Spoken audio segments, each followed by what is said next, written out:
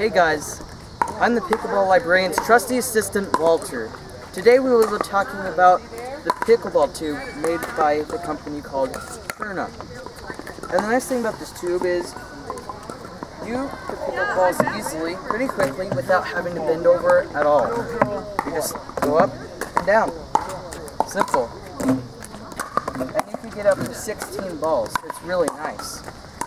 Also on here is this hook, you can on a fence.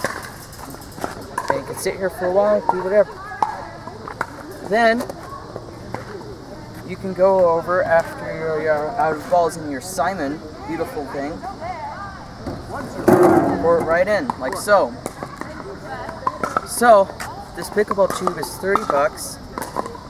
It's lightweight and it's easily portable. This pickleball tube is Pickleball Librarian approved.